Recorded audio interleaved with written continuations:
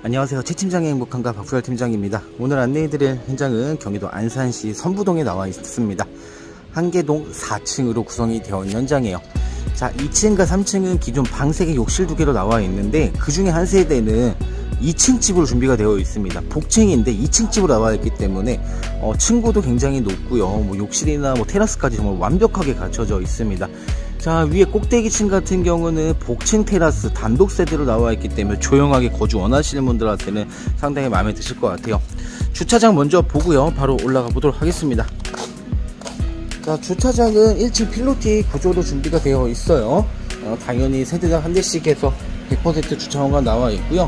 여기 건물 옆에까지 해서 넓은 공간이 나와 있습니다. 아직 주차선은 그려져 있지 않은데 주차는 조금 더 여유 있게 하실 수 있게끔 나와 있네요. 다른 현장과 다르게 주차하시기가 좀더 수월하게끔 보여집니다. 코너집이다 보니까 주차하시기 정말 좋으실 거예요. 그럼 바로 올라가서 내부 안내 도와드리도록 할게요.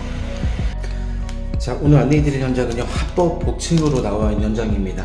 2층 집이라고 생각하시면 될 것 같아요. 아래층과 위에 층 모두 똑같이 높은 층고에 넓은 평수를 보실 수 있습니다. 세대 분리가 가능할 정도로 잘 나왔어요. 전실부터 바로 보도록 할게요. 자 신발장 수납 공간 보시면 우선은 가운데에 매립선만 나와 있고요.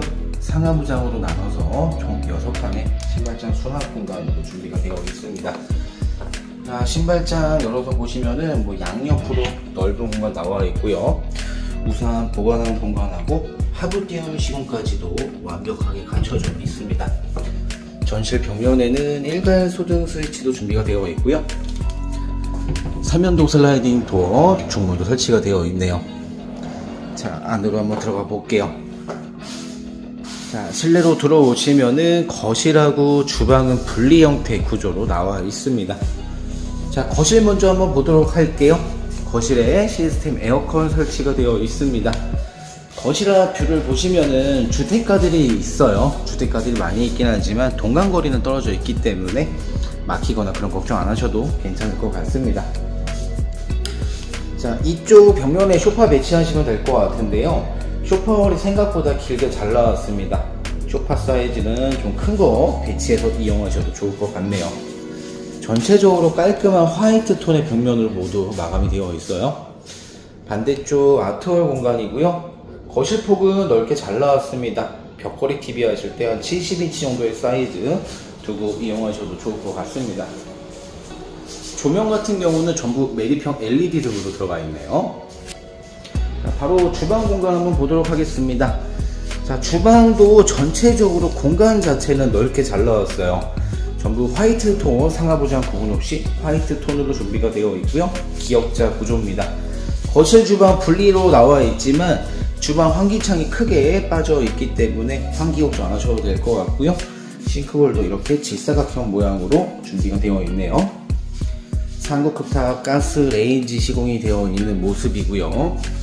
자, 냉장고 자리 같은 경우는 우선 이쪽에 양문형 냉장고 하나가 어, 기본 옵션으로 제공이 되고 있어요 냉장고 하나 들어가 있고요.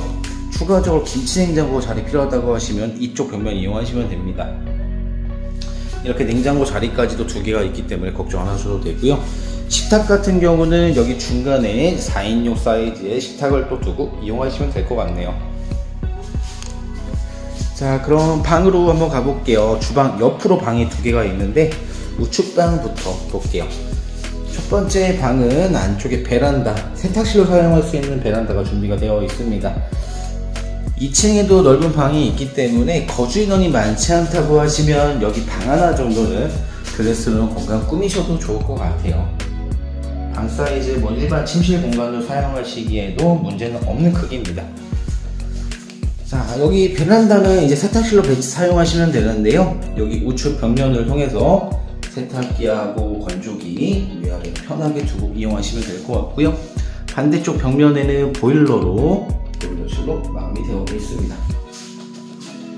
자 바로 옆에 두 번째 방 보도록 할게요. 자, 두 번째 방입니다. 이쪽 방은 사이즈도 조금 더 넓게 준비가 되어 있습니다. 어, 일반 성인이 사용하시기에도 충분한 그런 크기로 나와 있어요. 어, 책상이나 침대 배치하시고 작은 붙박이 수납장도 하나 두고 이용하시면 될 것 같습니다. 넓게 나온 두 번째 방이었고요. 다음은 안방으로 한번 가볼게요.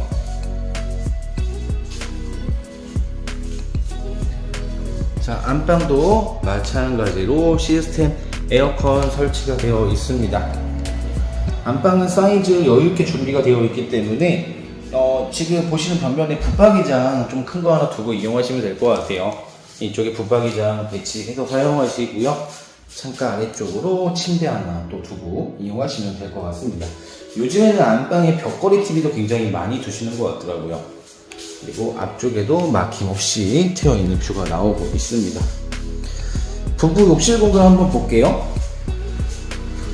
부부 욕실에는 환기창이 준비가 되어 있기 때문에 어, 습기 걱정 안 하셔도 될 것 같습니다. 정면에 수납장 두 개 짜여져 있고요. 세면대 위쪽에 샤워기랑 양변기 미끄럼 방지 타일로 되어 있네요. 메인 욕실 공간 보고 2층으로 한번 올라가 보도록 하겠습니다. 자, 메인 욕실 보시면 안쪽으로 해바라기 샤워기가 들어가 있습니다. 코너 선반도 갖춰져 있고요. 세면대 위쪽에 젠다이 선반도 길게 들어가 있네요. 마찬가지로 바닥은 미끄럼 방지 타일로 되어 있습니다. 자, 이렇게 아래층은 전부 봤고요. 복층으로 한번 올라가 보도록 할게요. 복층이 아니고 2층입니다. 2층.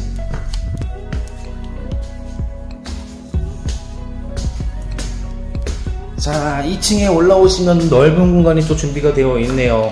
자, 2층 집이다 보니까 층고도 높고요. 테라스, 그리고 방, 주방, 욕실 모두 갖춰져 있어요. 자, 자녀분들이 세대 분리를 많이 원하시기 때문에 여기 2층 집을 주시면 굉장히 좋을 것 같아요. 2층에 올라오시면 주방도 있고 테라스, 화장실 모든 게 갖춰져 있습니다. 자, 여기 방부터 한번 보도록 할게요. 자, 2층에 올라오시면 우선 이렇게 넓은 방이 준비가 되어 있어요. 시스템 에어컨도 설치가 되어 있고요. 방 사이즈는 아래층에 안방처럼 상당히 넓게 나와 있기 때문에 어떤 가구를 배치한다고 하셔도 전혀 부족하지 않게 이용하실 수가 있습니다. 사이즈 보시는 것처럼 상당히 넓게 잘 나왔어요. 그리고 여기 주방 같은 경우는 그냥 간단하게 이용할 수 있게끔 나와 있습니다.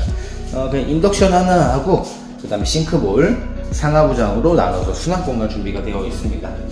2층에서 냉장고가 필요하다고 하시면은 이쪽 벽면 이용해서 냉장고 하나 또 추가로 두고 이용하시면 될 것 같아요. 자, 여기 욕실 공간도 한번 볼게요. 여기 욕실도 공간 넓게 잘 나왔기 때문에 해바라기 샤워기도 들어가 있습니다. 욕실 환기창도 나와 있는 모습이고요. 코너 선반하고 세면대 위쪽에 젠자이 선반까지 모두 완벽하게 갖춰져 있는 걸 볼 수가 있네요. 자, 그리고 2층에 하이라이트입니다. 테라스 한번 나가서 보도록 할게요. 자, 테라스도 사이즈가 넓기 때문에 왕 테라스로 보시면 될 것 같아요. 이렇게 폭도 넓은 광폭 테라스가 준비가 되어 있습니다. 테라스에서 옵션으로는 이렇게 테이블하고 파라솔까지도 들어가 있습니다. 자, 가족분들 여기 2층에 올라오셔서 편하게 바베큐 같은 거 하셔도 좋을 것 같습니다. 전기랑 물도 편하게 사용하실 수 있게끔 콘센트하고 수도까지도 완벽하게 갖춰져 있네요.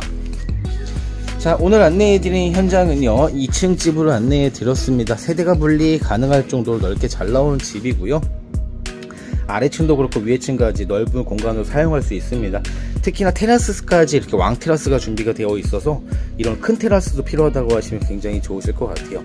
오늘 영상은 여기서 마치도록 하겠습니다. 저는 다음에 더 좋은 영상으로 찾아뵙도록 하겠습니다.